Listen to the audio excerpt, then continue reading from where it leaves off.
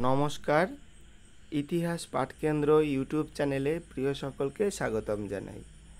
আজকের আলোচনার বিষয় পিজি ইতিহাস অ্যাসাইনমেন্ট অ্যান্সার দু হাজার তেইশ চব্বিশ পেপার এইট বি গত ভিডিওতে তোমরা, আপনারা দেখছেন ফাইভ এবং সিক্স পেপারের এবং সেভেন বি পেপারের ভিডিও দিয়েছি। আজকে শেষ ভিডিও তাই অবশ্যই আপনাদের যে এক্সপিরিয়েন্সটা বা আমার ভিডিও দেখে কতটা উপকৃত হলেন, বা ভিডিওর সাথে কথার মিল, কথার সাথে ভিডিওর মিল বা আপনার পরীক্ষায় যে প্রশ্ন উত্তর এসেছে তার মিল পেয়েছেন কিনা অবশ্যই জানাবেন, ঠিক আছে? এটা ফিডব্যাক দেবেন। আর অবশ্যই যারা ফাইনাল পরীক্ষার নোট নিতে চান, অবশ্যই দ্রুত যোগাযোগ করবেন, কারণ অ্যাসাইনমেন্টের পরেই ফাইনাল পরীক্ষা শুরু হয়ে যাবে কুড়ি পঁচিশ দিনের মধ্যেই। তাই আজকে আলোচনা বিষয়ে আসা যাক। প্রথম প্রশ্ন চন্দ্রকেতুগড় পশ্চিমবঙ্গের কোন জেলায় অবস্থিত?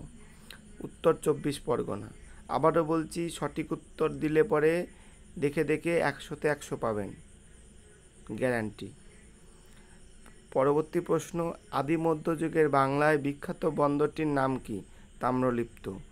কোন সময়কালে ভারতে মুদ্রার অভাব ঘটেছিল? ছশো খ্রিস্টাব্দ থেকে এক হাজার খ্রিস্টাব্দ। পরবর্তী প্রশ্ন ফাহিয়েন কবে ভারতে এসেছিলেন? উত্তর, পঞ্চম খ্রিস্টাব্দে।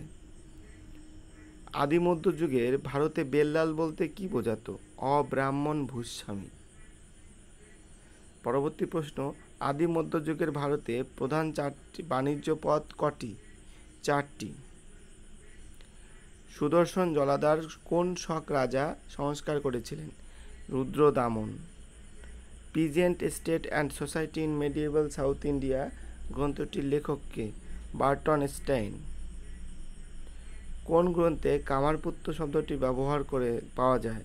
দীর্ঘনিকায় বিডি চট্টোপাধ্যায়ের মতে, আদি মধ্যযুগের সমাজ বিকাশের প্রধান বৈশিষ্ট্য কি কি ছিল? এ এবং দুটি। কোন রাজ্য অবন্তী বর্মন শাসন করতেন? কাশ্মীর। কোন পাল রাজা কলিমপুর তাম্রশাসনের সঙ্গে যুক্ত? ধর্মপাল। শ্রেষ্ঠী কারা? ধনী বণিক। উপর থেকে নগরায়ণ এই কথাগুলিকে ব্যবহার করেছিলেন? আর চম্পক লক্ষ্মী। পরবর্তী প্রশ্ন। দ্য ফিউডাল লিজম ডিবেট গ্রন্থের সম্পাদককে হটবংশ মুখিয়া। পরবর্তী প্রশ্ন। দিল্লির কোন সুলতান ইকতা নিয়ন্ত্রণ করার জন্য খাজা নামক পদ সৃষ্টি করেন। গিয়াসুদ্দিন বলবন, তামিলনাড়ুতে ভক্তিবাদ কখন প্রসারিত হয়? খ্রিস্টীয় নবম শতকে। দ্য ফিউডাল অর্ডার গ্রন্থটির সম্পাদককে ডিএন ঝা। কোন রাজা প্রথম কামরূপে ব্রাহ্মণদের জমিদানের প্রথা চালু করেন? মহাভূতি বর্মন শেষ প্রশ্ন, ভারতীয় সামন্ততন্ত্র গ্রন্থটির লেখককে উত্তর হবে আর এস শর্মা। এই ছিল মোট কুড়িটি প্রশ্নোত্তর। আশা করি দেখে দেখে যদি সব উত্তর সঠিকভাবে করেন, তাহলে অবশ্যই একশোতে একশো পাবেন। প্রত্যেকটা পেপারের ভিডিও আমার দেওয়া হয়ে গেল অ্যাসাইনমেন্টের আজকে।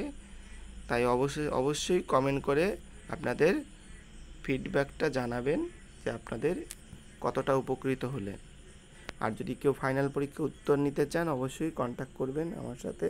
আমি সাজেশন ভিত্তিক আপনাদের অ্যান্সার দেব, যেখানে আপনি আশি থেকে একশো শতাংশ কমন পাবেন।